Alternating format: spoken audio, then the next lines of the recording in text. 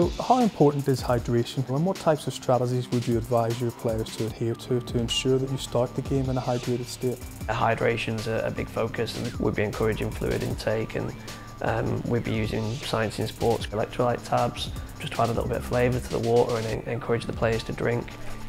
Without hydration and your tablets and your water, I think that definitely has an impact because you, you can get more tired, cramp up, so I'd say hydration is my most important before a game.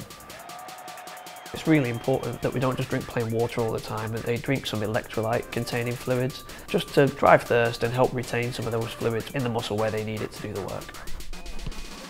the hydration aspect with players is highly underestimated. When we're looking at the profile of uh, footballers, we've got Olympic sprinters and we've got marathon runners. They cover distances of anything between sort of 10 and 13 kilometres in a game. Scattered in, there's lots of sprints one of the key determining factors that we find with players at the highest level is that ability to perform those repeated sprints on a, on a regular basis.